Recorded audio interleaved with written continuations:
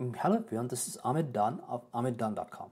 Today I'll have another episode of Windows 11 tips and tricks video and I'll talk about how to stop OneDrive from syncing everything on your computer.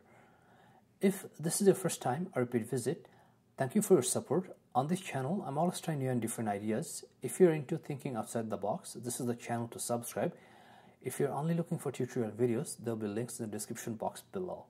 So I just upgraded to Windows 11 and the first thing happened to me uh, is that you know my OneDrive uh, cloud storage started giving me notification that my drive is full, which could not have been because you know I just have a very limited files uh, in OneDrive folders and uh, out of 5 gig space I use only 1 gig.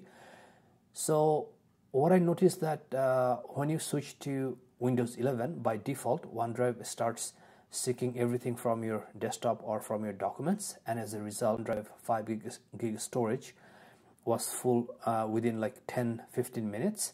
And I had to delete uh, you know all the files manually and it was a big hassle. So in today's video I'll show you how you can stop uh, OneDrive seeking everything from your computer. And uh, this is just very easy and simple to do. So the first thing you're going to be uh, doing is just click right here. Uh, and here you're going to see OneDrive. Now, if you do not see OneDrive, then other way you can open it is just uh, click on the search box and search for OneDrive. And then here you're going to see OneDrive. So click on it and then it's just going to open OneDrive. And then here uh, you're going to click right click from here. And then from here you're going to right click and then if you go to OneDrive then here you're going to go to settings and basically we're going to be dealing with this section but I'll just close this and go back from here the hidden icon.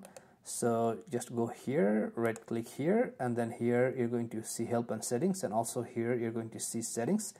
So if you click on it then it's going to bring you to this uh, tab uh, or section where you're going to see settings accounts backup so let's start with settings. If you want OneDrive to stop automatically, you know, start uh, when you sign into Windows, then you can just uncheck that. But I do not recommend that because that way it's not going to run every time you start your computer or sign into Windows. And uh, so you can just like, you know, keep it checked. And we are going to uh, move on to the next section, which is accounts. Now, if you'd like to unlink OneDrive from this PC, and then you have to just click here. Uh, but the problem with this is that this is not going to save, you're not going to be able to save anything in OneDrive if you'd like. So, you know, I don't recommend that either. And here, the next tab, if you go to backup, and what happens here, important PC folders here, you're going to see that, you know, if I click on manage backup, and by default, OneDrive is uh, choosing all these folders to save and as a result you know it fill up completely very fast. So you have to just uncheck all these. And then if you X that then it's not going to save those folders anymore.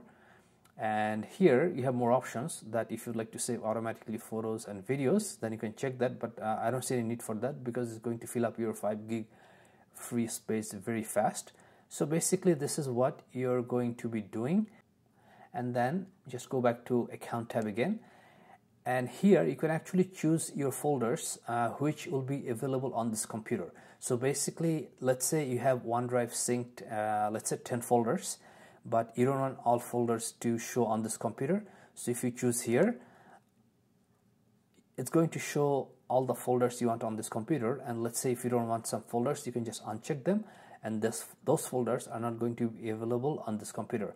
But they will still be available on cloud but you're not going to be able to see them on here. So you might want to do that if you are if you don't need some folders to be appearing on this computer then you can do that. So basically that's how you can unsync or stop OneDrive seeking everything from your computer. Thank you for watching this video. There'll be more videos coming up so i'll see you shortly. Thank you